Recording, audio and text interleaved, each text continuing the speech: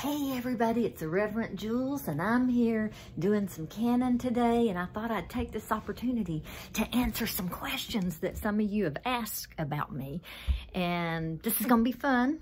So one of the questions somebody asked me was uh, to tell me something that they don't know about me. Well, there's a lot and some of it I can't say because it gets censored. One thing was we had a monkey growing up. His name was Squeaky. A lot of fun. And I have this weird thing that I have to have my underpants and socks match. I don't know. And I was a celebrity once. I was on the Tubby and Lester show.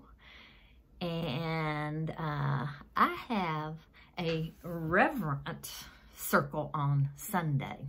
Go figure. I like to I like to change it up, man. Reverent on Sunday, irreverent on Tuesday. And then somebody asked, what is the best job I ever had?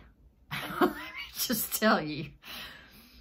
One time I had this uh, job as a dominatrix uh, personal trainer. This was so fun. Sometimes we did classes as a group and sometimes it was just an individual. And I got to spank people and I got to boss people, put my foot down on them uh, when they were doing crunches or something. It, it, and let me just tell you, I got paid for it. Can't get any better than that. I don't know they have those jobs anymore, but that was a good one. I wouldn't have quit that one.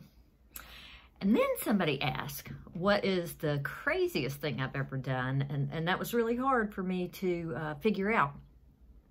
So I thought, well, I have to give two versions, one on my meds and one off my meds. So on my meds, uh, I think I made it from the bedroom to the kitchen and the bathroom and the living room all in a 30 hour span. That, that was pretty, pretty amazing. Off my meds, well, I told you I had that reverent show on Sunday. A lot of people would call it the Church of the Unicorn. Well, this unicorn came to me in a vision and it told me to drive all the way across country to the Redwood Forest and take off everything, get all natural with nature, and hug, hug this tree that there was a lot of controversy about.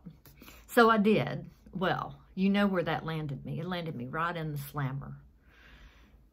Well, when I got in the slammer, they had me in there with this woman, and she kind of had this lusty look in her eye. It was kind of making me nervous. So I started acting like I was a monkey swinging from the bars and, you know, causing all this ruckus well, that did the trick. It wasn't very appealing for anybody. I got out the next day and they lost my clothes. So then I had to drive all the way back across country in one of them orange jumpsuits. Crazy. So if you ever do something crazy like that, make sure you got an, uh, an extra pair of clothing in your car. And just try not to do it anyway.